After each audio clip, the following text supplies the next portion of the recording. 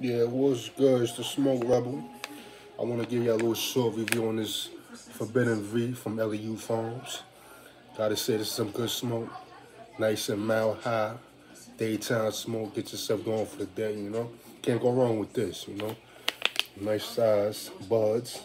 I'm gonna get y'all close up on that soon, though. Get y'all close up. But um, I gotta say, man, this, this is good. Nice daytime, mild, you know? Get your, get your day started with this, you know. But um, you know, nice smell to it, real citrus, sweet. You know, can't go wrong with that. But shout out to Elli Hou Farms, man. I need to go tap in and get yourself elevated with them, man. They got some good good smoke over there.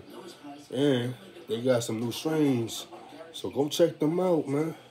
Check them out. You won't be disappointed with them prices either, you know? But um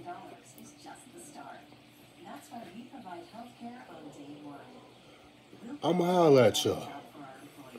But not right now. Ah.